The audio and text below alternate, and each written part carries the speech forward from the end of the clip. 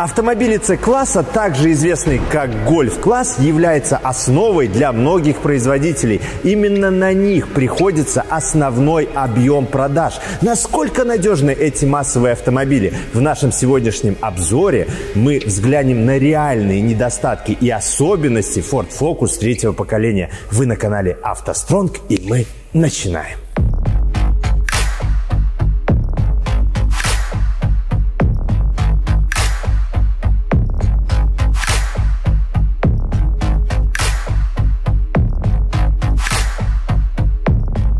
На сегодняшний день легковые автомобили марки Ford официально не представлены ни в России, ни в Беларуси. Что же такое случилось, что один из старейших производителей ушел с огромного рынка? Может и Focus в этом виноват. Забегая вперед, скажем, что Ford Focus третьего поколения – это действительно надежный автомобиль. Да, в первые годы выпуска, то есть первые 3-5 лет, компания Ford организовывала отзывные кампании и устраняла много недостатков. Но серьезных косяков с этой машиной не было. Большинство владельцев довольны своим Focus и проезжают на них 300-400 тысяч километров без вложения в ремонты. А сегодня сегодня давайте рассмотрим реальные недостатки этого автомобиля. Ford Focus третьего поколения окрашен качественно, а сколы краски на капоте и над лобовым стеклом не расцветают, а лишь говорят о значительном трассовом пробеге. Обратите внимание на стыки переднего бампера и крыльев. Здесь может отшелушиваться краска. Также здесь можно обнаружить защитную пленку. Так дилеры по гарантии защищали эти места от отшелушивания и предварительно перекрашивали крылья. Еще сколы краски могут появляться по задним аркам, в том числе по стыку с бампером, а также вокруг молдинга двери багажника. Кромка крышки багажника на всех версиях Ford Focus третьего поколения на многих автомобилях трет о бампер. Краска протирается именно на двери багажника, и это место может несерьезно расцвести. Плафоны фар сделаны из очень нежного пластика, поэтому быстро пескоструются, мутнеют и даже царапаются при нежном протирании на сухую. Также фары Ford Focus третьего поколения могут запотеть. В гарантийный период это устранялось методом сверления дренажных отверстий. Если предыдущие владельцы Focus форсировали бордюры, то на пластиковых накладках порогов могут остаться трещины. Также при ДТП, при легком фронтальном ударе очень легко повреждаются радиаторы, потому что они очень близко находятся к бамперу. Блок управления двигателем на Ford Focus третьего поколения установлен спереди слева, то есть за бампером и перед передним левым подкрылком. С ЭБУ ничего плохого не случается, если кожух ЭБУ целый и подкрылок целый. Но бывает, что после ДТП кожух трескается и без какого-либо ремонта его устанавливают обратно. После этого влага с дороги, либо же даже после мойки может попасть в ВБУ и это вызывает разнообразные глюки от полного обесточивания автомобиля. Также может слететь прошивка ЭБУ. На Ford Focus третьего поколения есть еще одна проблема, которая связана с попаданием влаги к блокам электроники. Ее тоже компания Ford устраняла по гарантии. Не поверите, но жидкость из бачка омывателя, который находится в переднем бампере по проводам от насоса стеклоомывателя, попадала в блок кузовной электроники и предохранителей, который находится за бардачком.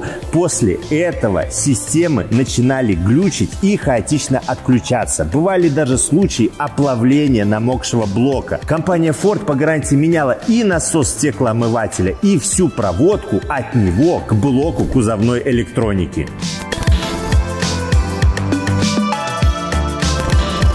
Самые распространенные двигатели на Ford Focus третьего поколения – это старые проверенные атмосферники объемом 1,6 и 2 литра. Эти моторы мы подробно обозревали на нашем канале.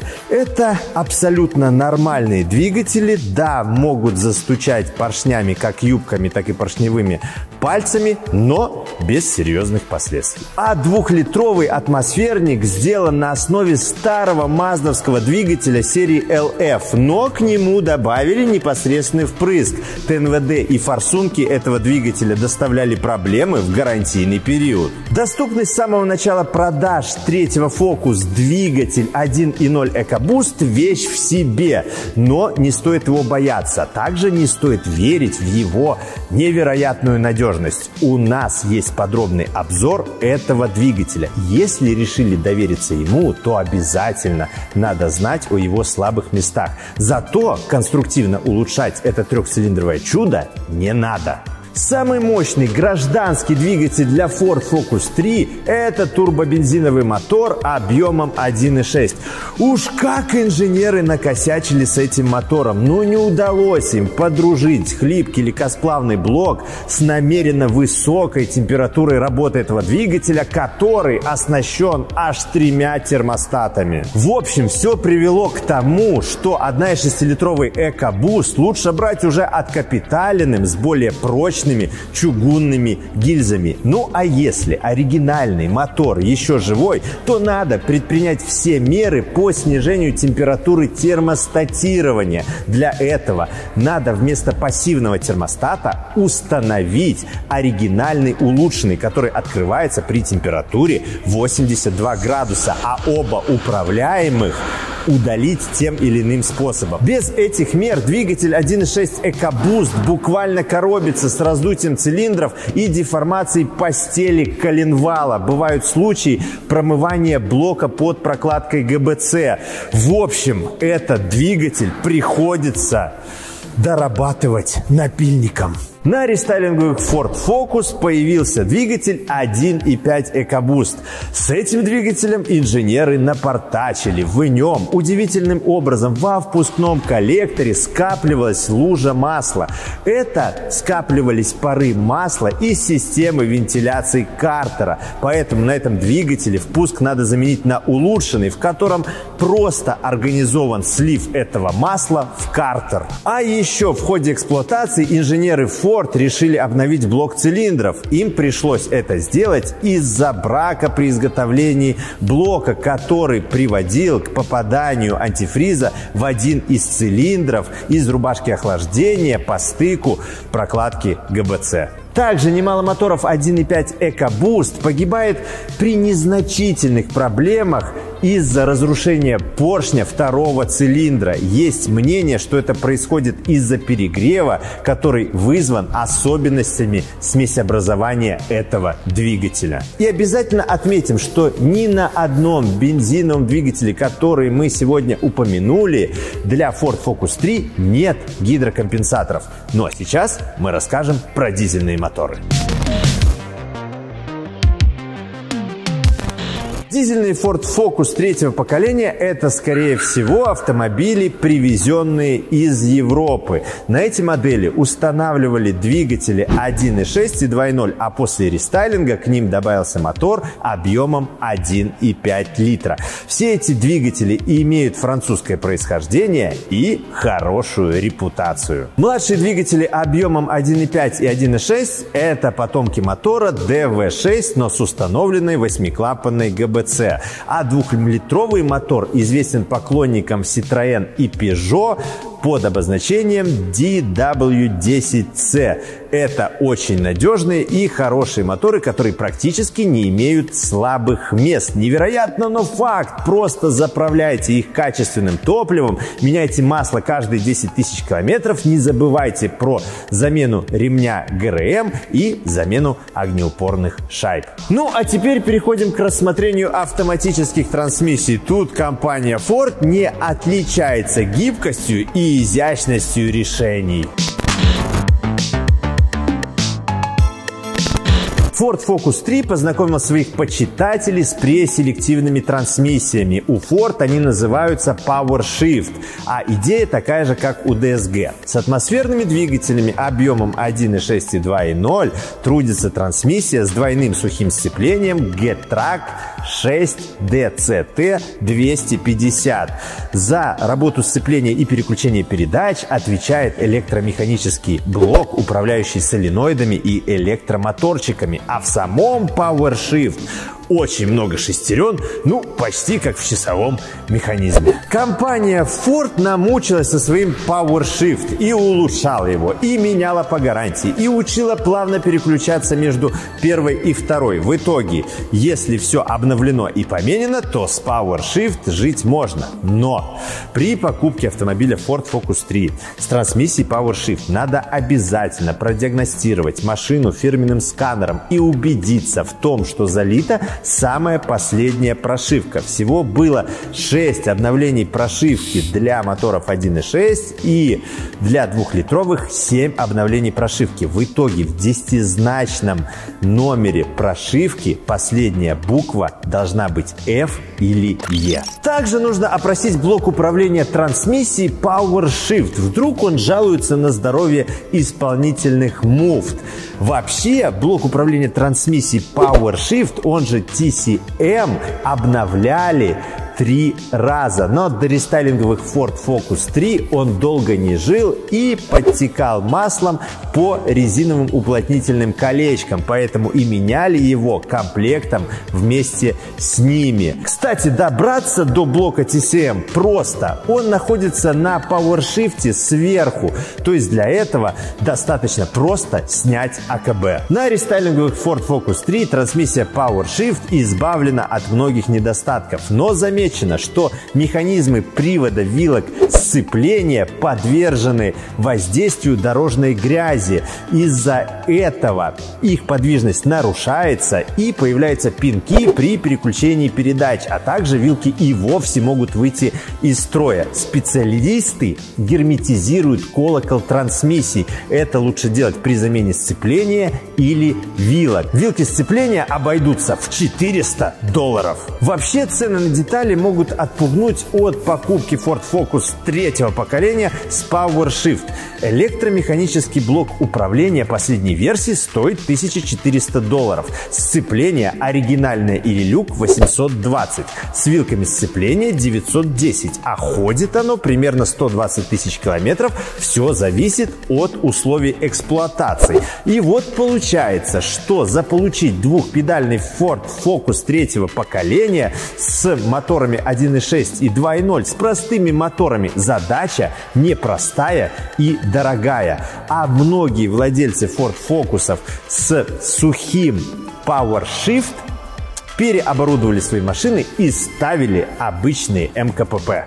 Дизельный Ford Focus 3 также не были доступны с гидромеханическим автоматом. Вместо него была предложена другая преселективная трансмиссия Getract 6 DCT 450. Также она известна как MPS 6.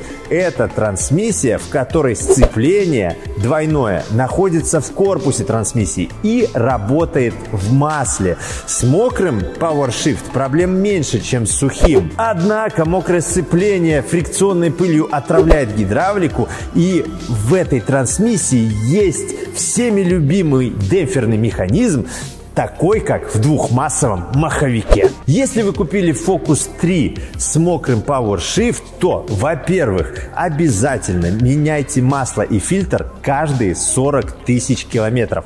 А во-вторых, обязательно следите за течью масла по передней крышке кожуху данной трансмиссии. Дело в том, что эта деталь стоит 350 долларов, но течь масла и последующий люфт приводят к износу направляющих и пружин, демпфера цилиндра двойного сцепления. А эта деталь, на минуточку, стоит 3200 долларов. В целом, если же внимательно следить за PowerShift, он ходит довольно долго. Если вы мечтаете о Ford Focus с надежным гидравлическим классическим автоматом, то тогда вам придется искать рестайлинговый вариант с турбомотором объемом 1.0, 1.5, либо 1.6, либо же редкий дорестайлинговый 1.6 EcoBoost. Эти машины оснащены классическим автоматом 6F15, причем в основательно доработанном варианте. Меняйте в нем масло каждые 50 тысяч километров и проблем не будет. В паре с атмосферниками объемом 1.6 устанавливалась старая трансмиссия IB5. Проблемы с ней могут начаться после пробега в 200 тысяч километров. Дело в том, что у нее слабый выжимной подшипник. Также может загудеть передний подшипник входного вала. И также могут потечь сальники полуосей. Кстати, сальники полуосей меняли по гарантии еще в 2013 году. Ну а если появились затруднения в перемещении рычага КПП, либо же передачи вовсе не включаются, то тогда пролейте трос колесы и рычаги выбора передач этой трансмиссии очистителем и смазкой. Пятиступенчатая КПП MTX75 для остальных моторов и шестиступенчатая MMT6 для двухлитрового дизеля обычно к себе внимания не вызывают. Но если спереди появился гул, источник которого сложно найти, то обратите внимание на подшипник промежуточного вала. Ну а сейчас мы отправляемся на СТО, чтобы продолжить рассказ об этом автомобиле. Помните, что в «АвтоСтронге» есть подразделение «МотоСтронг». Мы сами привозим очень классные мотоциклы из Европы с минимальными пробегами и в отличном состоянии. Продаем с полным пакетом документов. Обязательно обратитесь в «МотоСтронг», если вам нужен двухколесный друг. Ссылочки и подробности в описании.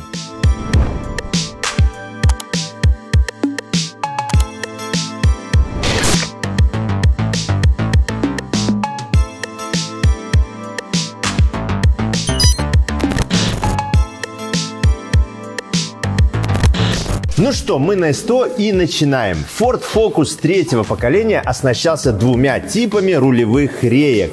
На версиях с атмосферным бензиновым мотором объемом 1.6 устанавливалась старая гидравлическая рейка. Чтобы насос ГУР раньше времени не завыл и не попросился на замену, меняйте гидравлическую жидкость раз в 80 тысяч километров с ее бачком. Оригинальный насос ГУР стоит 500 долларов, бачок 40 долларов, но есть много предложений по неоригиналу. Насос ГУР 100 долларов, бачок 20 долларов. Ну а если эта рулевая рейка застучит, то во многих случаях можно обойтись подтяжкой гайки пробки ее сухаря. У этой рейки слабоваты втулки, но в целом она полностью ремонтопригодна и восстанавливается. Этого не скажешь об электрической рулевой рейке. Для облегчения поворота управляемых колес справа на ее корпусе установлен электромотор, который соединен с рейкой зубчатым ремнем и установлен блок управления. Вся эта электронная часть склонна к выходу из строя. Электромотор может выйти из строя, но его можно заменить с донора. Также есть случаи выхода из строя платы блока управления, но в некоторых случаях это ремонтируется электриками. Также через резиновые уплотнения в механизм может попасть вода, что навредит электронике и подшипникам шкивов зубчатого ремня. Также эта рейка может вяло постукивать капролоновыми втулками, которые можно заменить. Подвеска Ford Focus 3 приятно живучая и долговечная. Замены могут потребовать стойки стабилизаторов и то они ходят по 100 тысяч километров и даже больше. В гарантийный период на этих машинах массово меняли опорные подшипники передних стоек. При износе они хрустят. Непонятно, почему пострадало качество этих подшипников, потому что они очень хорошо ходили на Ford Focus 2. Последний раз их обновляли в 2000 2017 году. В целом они ходят по 150 тысяч километров. Нередко источником грохота спереди является изношенная правая опора двигателя. Ступичные подшипники ходят примерно 150-200 тысяч километров. Передние рычаги Ford Focus 3 в оригинальном исполнении могут быть как стальными, так и алюминиевыми. По оригиналу шаровая опора и сайлентблоки не детализируются отдельно. Оригинальный рычаг стоит от 175 до 250 долларов. По неоригиналу есть предостаточно предложений как алюминиевых, так и стальных рычагов. Шаровую опору для крепления на трех винтах можно купить отдельно. Ее предлагает буквально один производитель запчастей. Много предложений по переднему сайлентблоку, а вот задний сайлентблок с кронштейном именитые производители не оригинала не предлагают. Задняя подвеска всех Ford Focus 3 независимая, многорычажная. По факту здесь по 4 рычага на каждое колесо. Сайлентблоки служат долго. Передний сайлентблок продольного рычага можно купить за 30 долларов. Есть заменители. И все остальные сайлентблоки рычагов можно купить от неоригинальных производителей. Самый дорогой рычаг подпружиненный. Оригинальный стоит 170 долларов. Есть заменители втрое дешевле. Его сайлентблок блок можно купить за 10 долларов. Нижний рычаг даже в оригинальной упаковке стоит менее 30 долларов. На дорестайлинговых Ford Focus 3 установлен генератор, который управляется по трем проводам. Если этот генератор вышел из строя или выдает ошибку, то лучше ищите бэушный генератор, потому что оригинальных качественных запчастей для его ремонта нет, а качество неоригинальных запчастей нестабильное. То есть генератор может выдавать зарядку, но будет гореть ошибка по его управлению. А на рестайлинге генератор с управлением по одному проводу. Он полностью ремонтопригоден и все запчасти нормального качества.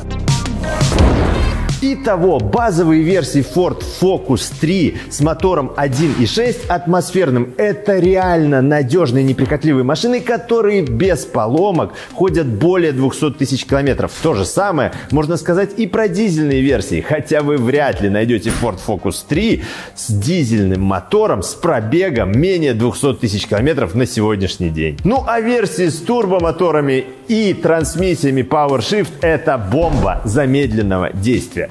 Если вы хотите, чтобы мы и дальше делали такие классные подробные обзоры, то нам нужна ваша поддержка. Обязательно подпишитесь на наш канал, нажмите колокольчик, поставьте лайк, напишите комментарий и поделитесь этим видео в соцсетях. Помните, что поддержка нашего канала – это плюс 500 тысяч километров к ресурсу вашего автомобиля. С вами всегда была есть и будет компания «АвтоСтронг».